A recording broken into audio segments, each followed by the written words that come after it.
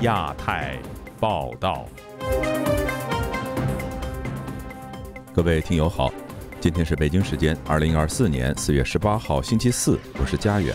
这次亚太报道的主要内容包括：美国海关扣押涉嫌监狱强迫劳动的中国商品；重庆居民更换智能燃气表后燃气费徒增；抗议孔子学院揭牌专访西班牙教授马尔莱拉；美国众议院监督及问责委员会就捍卫美国免受中共政治战影响举行听证会。中国房地产市场拖累经济，房市利好政策真的能利好吗？接下来就请听这次节目的详细内容。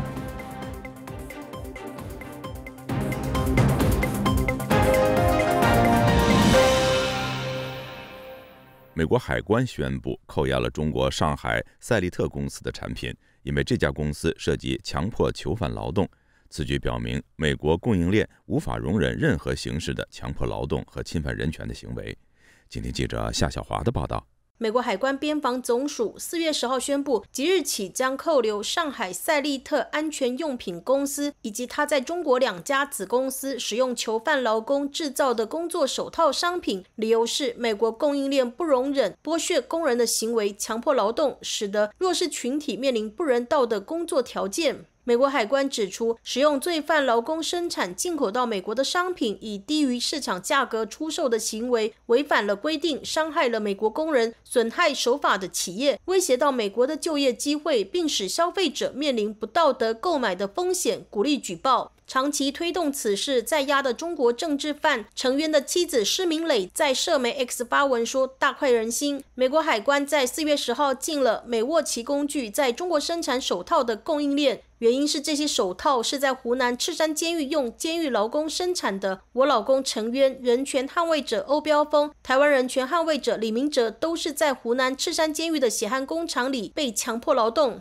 曾经被中国关押五年的李明哲接受自由亚洲电台采访表示，二零二二年四月他获得释放后召开记者会，公开赤山监狱强迫劳动的情况。后来施明磊联系他，他指认几款在狱中做的手套。上网去找这个米沃奇的这个手套的名录嘛，就看到有一些手套是我做过的嘛。而且我在监狱里面，我那时候都看到是上海赛利特公司送来赤山监狱很多手套的原材料嘛。所以后来施明磊决定在美国发起相关的国会听证也好，诉讼也好，也跟米沃奇。公司协商过，根据施密磊给我的讯息，像美国有一些大型的连锁超市，像沃尔玛，都已经在这个米沃奇没有正式对这个事情做一个表态前，都已经暂时把这个米沃奇的商品下架了。李明哲指出，中国宣称义务劳动可以净化人心，不发工资给犯人不违法，并把给予的低报酬当作福利。就中国的监狱法规定，每天只能工作八个小时，然后一个礼拜要有一天休息，一天受教育嘛。那我们基本是没有休息日的嘛。然后教育日也常常被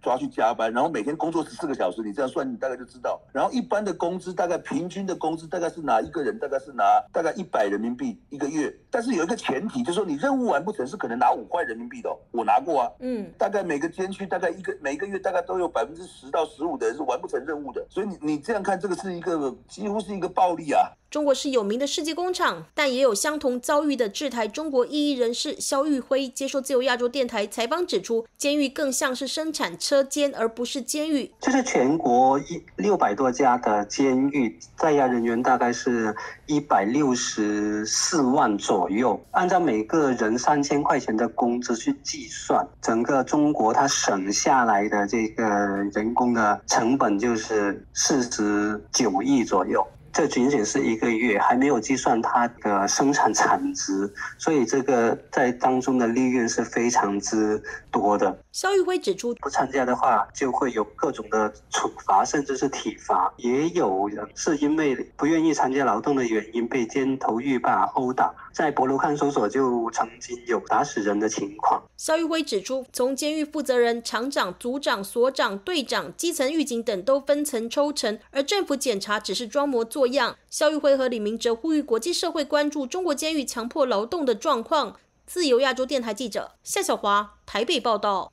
重庆燃气集团大面积更换智能燃气表之后，居民发现燃气费用大幅度增加。重庆市政府就此已经成立联合调查组，进驻重庆燃气集团进行调查。请听记者钱朗和刘邦宇的报道。重庆居民燃气表更换为智能燃气表后，发现用气量突然增高，而支付的燃气费由原来的数百元翻倍到甚至数千元。过去一周，相关话题成为微博、抖音等网站上的热门话题。据中国能源报道，重庆居民燃气费用普遍增加。根据居民的说法，就是翻倍的也不在少数。重庆居民苏先生本周三接受自由亚洲电台采访时说，今年的燃气账单显示要多缴一百四十元。我个表没用多少气啊，反正今年呢不晓得他个到底什么的，反正是有点多，一百四十几块钱。重庆燃气表这个，有些人说嘛，没有人去反映嘛，调查什么哟？这个都是官官相护的，说误收了嘛，他说误收了，甚至是乱收。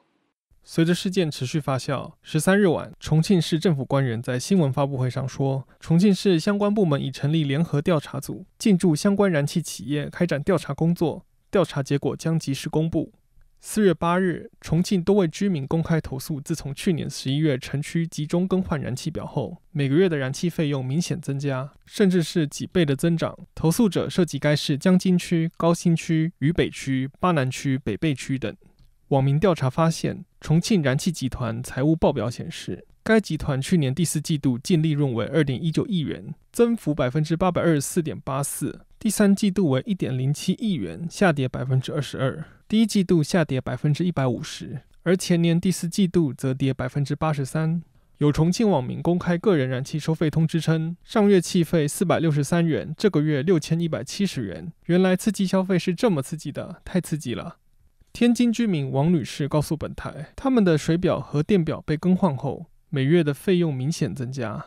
她说：“它可以随着调动这个表，因表由他来控制。”现在肯定要刮老百姓地皮。早先的表说正常流程的，一家使个几十度电啊。现在我发现我们楼上那个谁说新换的电表，说那他还回了家两个月啊，使了三百多块钱电。湖南株洲异议人士郭敏告诉本台，当地电力公司多次要求更换他家电表，遭到拒绝。嗯，是换电表，我当时是不同意的。我知道他们想干什么，他们第一次也没说什么就走了。第二次又悄悄的来了，直接进入你家里院子里，我趁你家没人，就直接就把它表换掉了，被我训斥了一餐，他就走掉了。现在究竟我的表换了没换，我自己都不知道了，因为我也不可能时刻去守住这个表啊。我现在甚至怀疑他们这个表啊，应该是智能的，甚至可以去调的啊。他们通过电脑来调表，也这个从技术上来说也不难。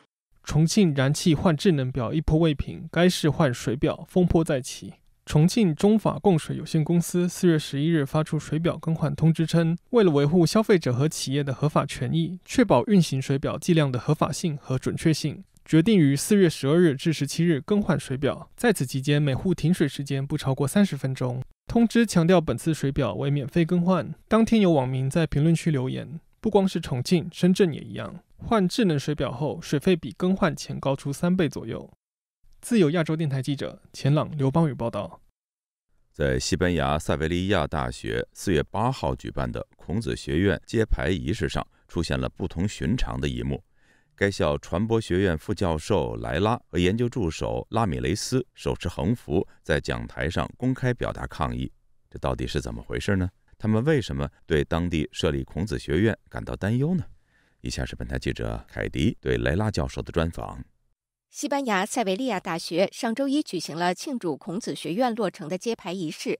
就在与会官员们发言期间，出现了一段插曲。该校传播学院副教授莱拉和他的研究助手拉米雷斯各持一个抗议孔子学院的横幅，站到讲台上。之后不久，他们被安保人员请下台，揭牌活动则继续进行。劳拉教授告诉本台，他们发布在网上的视频很短，但实际抗议过程要长得多。以下所有翻译由人工智能代读。First time they came, I replied, "I'm not going to move, so I'm going to stay." 保安人员第一次过来时，我回答说：“我不会走开，我要留下来，要继续抗议。”他们就回去了。但这段视频已经被剪掉。我甚至坐在地上，不肯被移开，甚至我试图躺下。我真的很大胆，我觉得真理就在我这边。我感到被那些在中国受苦受难的人们及被这个残暴政权骚扰的人士的精神所祝福，所以我真的感到坚定并充满信心。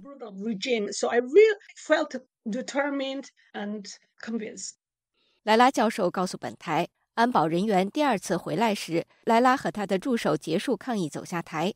令他意外的是，目睹抗议的很多人都对他们表示赞赏和感激。他们说。我们非常害怕中国，害怕他们进入到大学，所以你们做得非常好，而且一点也不粗鲁。你们很有礼貌，很平和，你们做得非常好。因此，我们非常感谢您这样做。根据孔子学院官网消息，塞维利亚大学的孔院是与中国兰州交通大学合作共建。当天，塞维利亚市教育厅长、塞维利亚大学校长、副校长。以及兰州交通大学的校委会主席、孔子学院的西方和中方院长等人都出席了揭牌仪式。谈到举行抗议的原因，莱拉教授告诉本台：“We felt obliged to protest because we have been waiting more than three years to meet。”我们觉得有必要抗议，因为我们已经等了三年多才见到副校长，并向他通报孔子学院的威胁。事实上，我们在2020年就遇到了我们大学的校长。当时我非常简短地向他解释说，以这种方式接近北京是非常危险的。我认为他们没有足够的信息。他说他对这个问题非常感兴趣，所以让我们约个时间来讲解一下。但四年时间过去了，我从未见到过他。莱拉教授表示，就在一个月前。该校副校长在已经知道要开设孔子学院而未通报校内员工的情况下接待了他们。最后，他们和副校长谈了约十五分钟。During these fifteen minutes, I explained that, well, first of all, one hundred thirty. 在这十五分钟里，我解释说，首先，全世界大约有一百三十所孔子学院已经被关闭了，其中很多还是在欧洲。这是因为情报部门有证据表明。他们对我们的国家安全构成威胁。他们监视学者和学生，他们将这些孔子学院作为获取瑞实力的手段，渗透我们的民主机构，并颠覆他们的运作。他们对于敏感的政治问题有明显的审查，并在聘用教授、教师或讲师时存在恐吓。歧视以及许多其他威胁。intimidation, discrimination when hiring professors or teachers, instructors, and many other threats. 莱拉教授说，该校副校长当时对他的观点无法提出任何反驳证据。此人对中国也一无所知，而只是很空洞地强调对话的重要性。莱拉教授还强调，他未来会不断地提醒西班牙各级政府要警惕中国共产党锐实力的渗透和威胁。以上是自由亚洲电台记者凯迪华盛顿报道。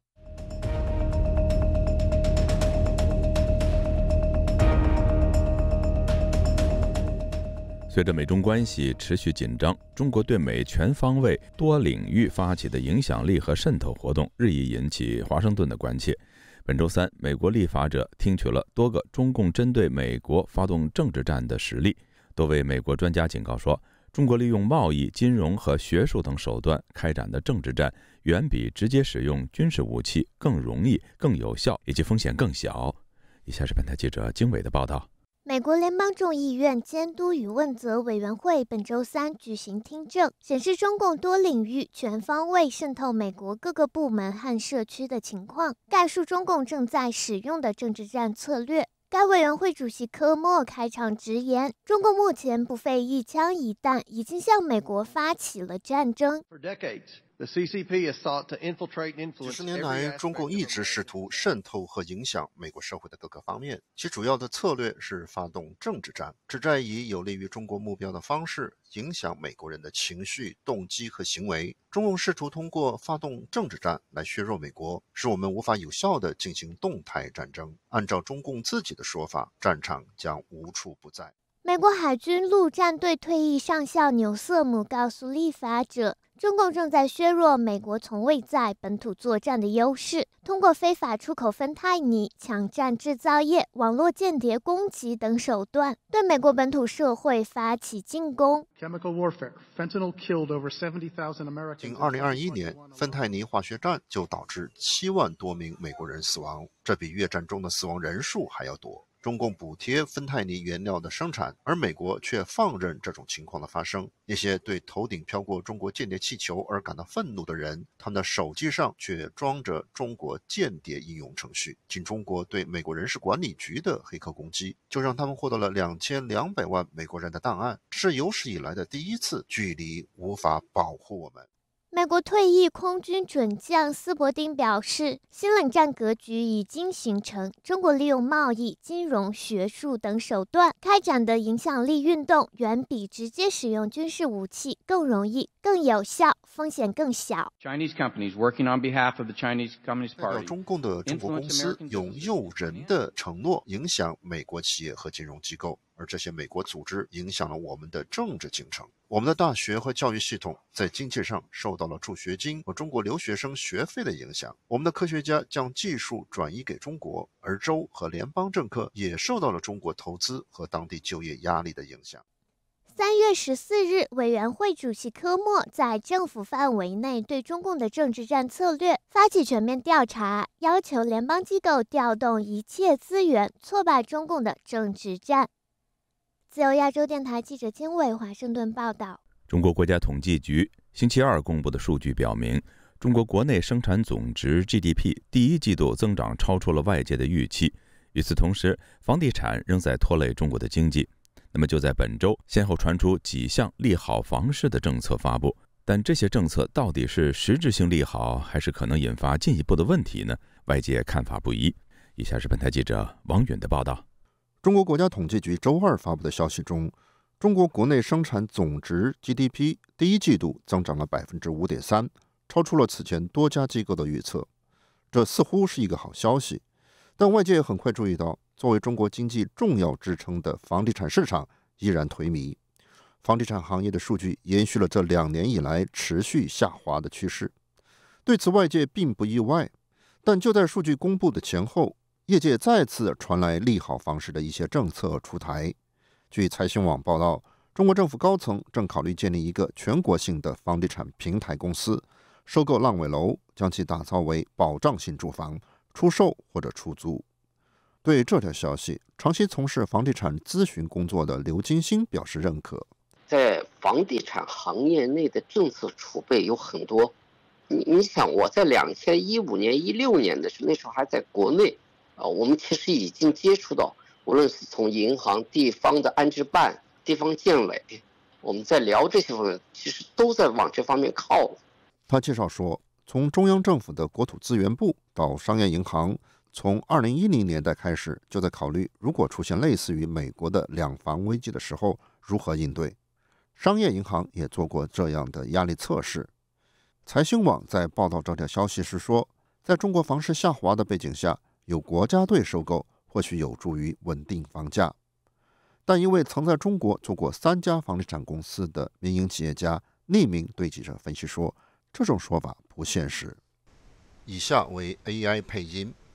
我认为此政策如果出台，会间接导致房价继续下跌。该设想在短期内可能会让民众对房地产市场误认为是解药，但由于现在国人的炒房信心已经彻底被摧毁。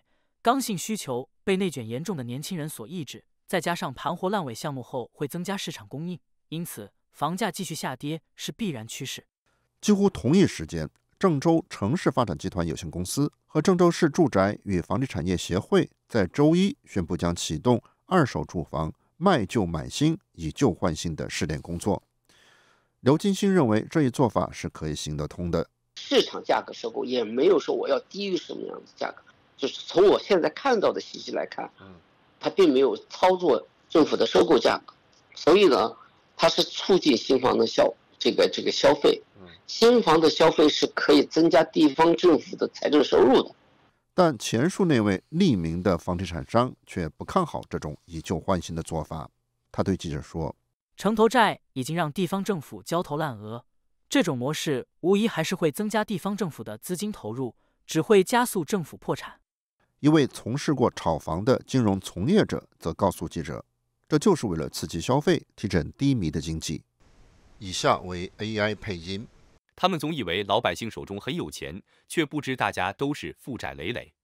这几年经济不好，很多人失业，一切负面的信息都封杀不能发，并不表示这些都不存在。出于安全原因。这位金融人士以匿名接受采访，他分析说：“现在中国在系统性的搞以旧换新，房地产只是其中之一。现在不仅是房子以旧换新，还有企业的设备也在搞以旧换新，也鼓励大家去换，包括针对个人消费者的汽车、家电等等。”他认为这么做就是为了去库存，释放过剩的产能。自由亚洲电台王允华盛顿报道。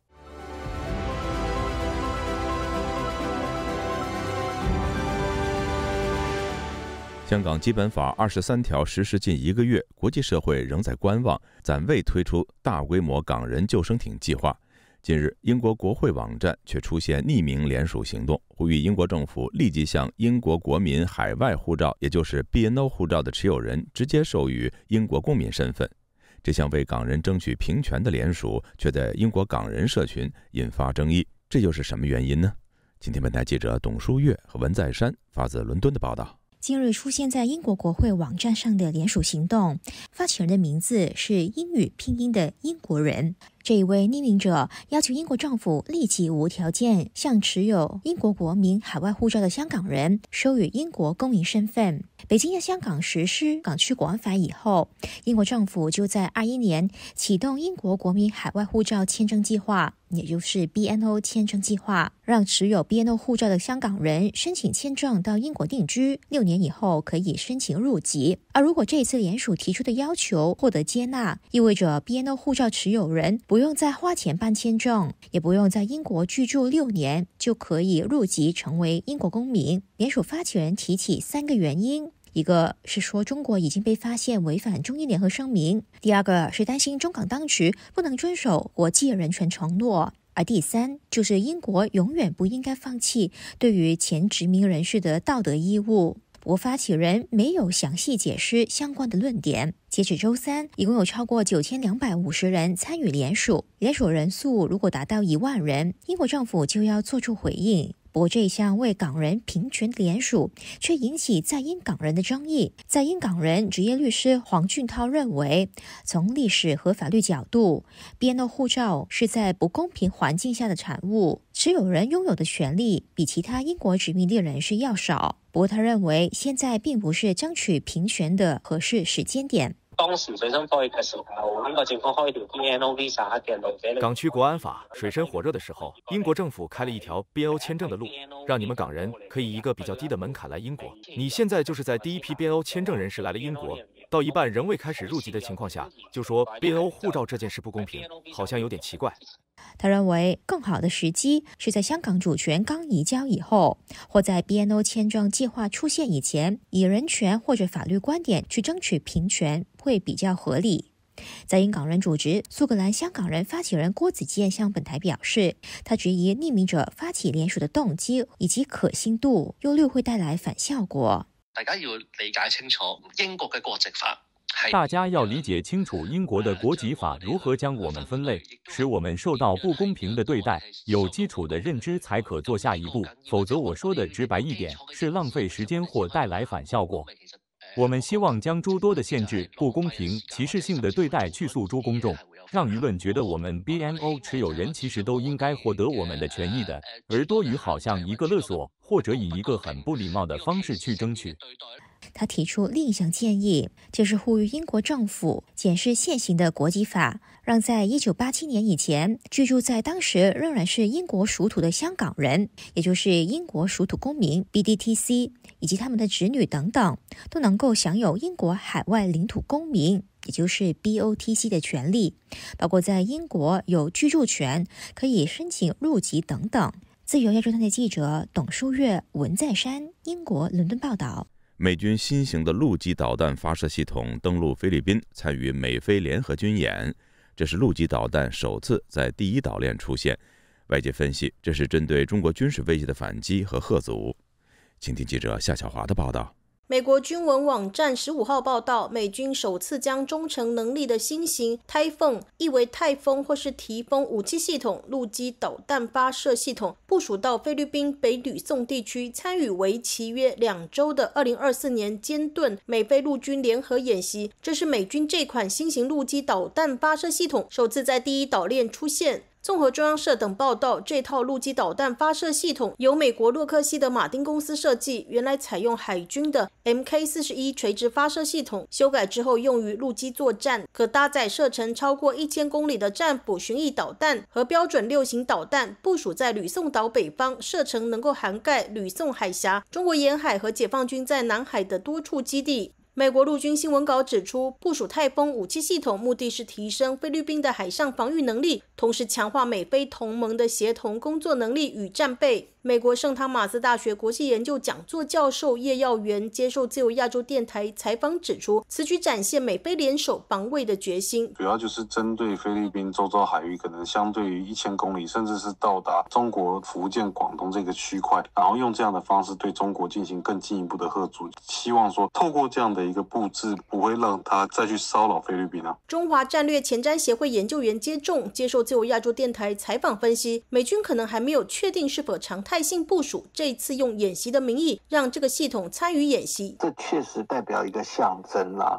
就是如果南海的情势紧张，或者是呃，当菲律宾遭受到中国大陆的军事威胁或军事威吓的时候，美国是很可能会很快的。把这个相关的这个武器系统部署到菲律宾的相各军事基地，那这这个动作其实本身就是在对中国大陆形成一种贺阻。台湾的国防安全研究院所长苏子云接受自由亚洲电台采访认为，美国可能部署中程飞弹系统到菲律宾等第一岛链的小岛，这是一个再平衡的概念。那这种再平衡的概念，就是弥补中国对其他国家这种中程飞弹的威胁，一旦啊中国发动啊军事侵。略，不管是对台湾或者菲律宾的时候，那美国陆军就可以拥有长的火力，可以做这个反击。好，反击的概念很重要，这看得出美国的呃决心。而是非常坚定的。接种也说，美方在美菲联演部署的系统可以应付中国各型的导弹。中菲近来在主权之间的冲突升温，菲律宾总统扬言，在南海如果有人丧生，将触动美菲防御条约。美国海军则针对中国出动海上民兵的灰色地带攻势，进行海上民兵也是兵的策略讨论。自由亚洲电台记者谢小华台北报道。听众朋友，接下来我们再关注两条其他方面的消息。据法新社报道，德国警方星期三进行全国性搜索，逮捕了十名涉嫌从中国和阿拉伯世界帮助富裕人士非法移民的走私网络组织成员，其中包括一名收受贿赂的官员。这场搜索行动共动用了一千名警力，及搜查了一百多处房屋。检察官指出，该走私组织领头的是两名律师。他们向中国和阿拉伯富人每人收取三万至三十五万欧元的费用，协助取得德国永久居留证。这些永久居留证是由四个区域的官员核发，包括德国西部城市凯尔彭和索林根等。报道还表示，德国警方目前正调查该走私组织的三十八名涉嫌成员以及一百四十七名据信被贩运至德国的人士。美国海军第七舰队十七号发布新闻稿表示。美国海军的一架 P-8A 海神式反潜巡逻机十七号在国际空域飞越台湾海峡。台湾的国防部发布说，美军的一架 P-8A 机十七号上午由北向南航经台湾海峡，经过台湾海峡期间，台湾全程掌握周边的海空域动态状况正常。与此同时，中国解放军东部战区新闻发言人也发布消息指。美国的一架 P-8A 反潜巡逻机过航台湾海峡，并公开炒作。中国人民解放军东部战区组织战机对美机过航行动跟监警戒，依法依规处置。战区部队时刻保持高度戒备。执政近二十年的新加坡总理李显龙四月十五号宣布，将于五月十五日卸任，交棒给副总理兼财长黄循才。宣布卸任前数个月，现年七十二岁的李显龙就已经预告将在下一届全国大选前交棒。各位听众，这次的亚太报道播送完了，谢谢收听，再会。